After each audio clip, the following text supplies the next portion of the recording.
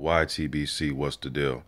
So Gilberto Ramirez becomes the first Mexican super middleweight title holder. He took care of business tonight against Arthur Abraham. Um, had the height advantage by five inches. Um, ironically, though, they had the uh, the same reach, which I thought was quite uh, odd, being that he had a five-inch uh, height advantage. But anyways, Abraham just put up the high guard. He tried to get close, let his punches go.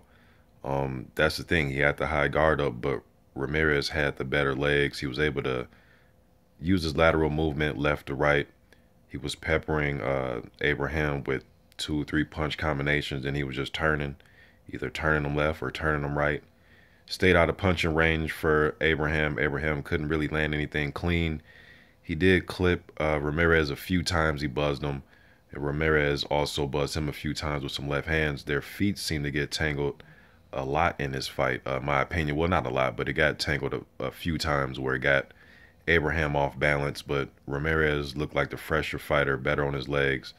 Um, out jabbed Abraham, outlanded him. Um, just looked like the better fighter. He didn't really hurt Abraham too bad, but Abraham was just putting up the high guards. Really couldn't get his could let his punches go. He was trying to put his guards up, let Ramirez get off. Then he was trying to get his punches off, but by the time Ramirez was finished getting off, he was out of punching range, and Abraham had to play catch up the whole night. Following Ramirez uh, around, he was following him. Didn't cut off the ring effectively. Um, he wasn't able really to work the body. He just couldn't get nothing going in this fight.